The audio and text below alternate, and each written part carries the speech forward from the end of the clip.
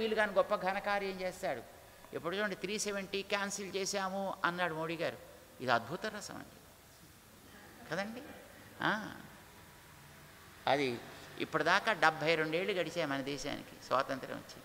ఎవరికైనా ధైర్యం ఉంది? దమ్ము వచ్చిందండి ఎవరికైనా? వీళ్ళ గవర్నమెంట్ బీజేపీ గవర్నమెంట్ కూడా వచ్చింది ఒకసారి.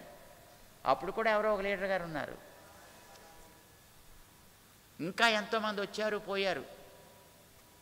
ఎవడికి దమ్ము రాలేదు చూడండి. దమ్మున్నవాడు దమ్మున్నవాడు ఇది అద్భుతం. అమ్మో ఏమొస్తుందో? వీడేమనుకుంటాడో? అక్కడ ట్రంప్ గారు ఏమనుకుంటారో ఈ పక్క దేశం వాడు ఏమంటాడో ఆ పైన చైనా గాడు ఏమంటాడో ఇంకోటి ఏమంట ఏమంటే అనేవాడు అంతే చేయాలంటే చాలా టక్మ చేశాడు ఏం కనిపిస్తుంది దాంట్లో మనకి? వీరరసం కనిపిస్తుంది. ఇంత జరిగినా ఎక్కడ నోరెత్తట్లే చూడండి ఎవడను. ఇది అద్భుత రసంగా కనిపిస్తుంది.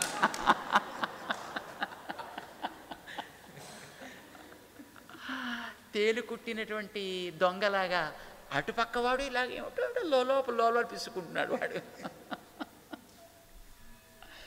వాడు మాట్లాడగలిగినని వాడు మాట్లాడుతున్నాడు నోటుకు వచ్చినట్టుగాను ఆ పక్కన ఉండే అమెరికా గారు పెద్దగారు వారు కూడా లోపల ఉండి పిసుకుంటున్నాడు. ఏమిటో పాప ఆయనకి ఏం చేయాలో తోచట్లేదు.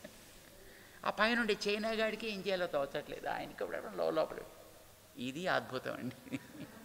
కానీ ఎక్కడ చూసినా శాంత రసం ఉందండి ఇప్పుడు ప్రస్తుతం.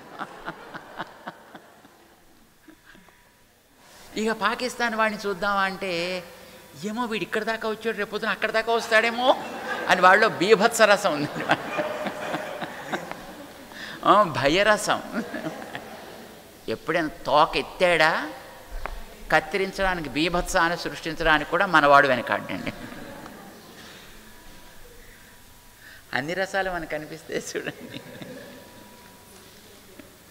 కానీ ఏమైనప్పటికీనండి మన భరతమాత యొక్క ముఖం మీద డెబ్భై రెండేళ్ళ తర్వాత ఒక శాంతరసం హాస్యరసం ప్రశాంతమైనటువంటి ఆనందరసం కనిపిస్తుంది కదండి. కానీ ఆ పక్కనే చూడండి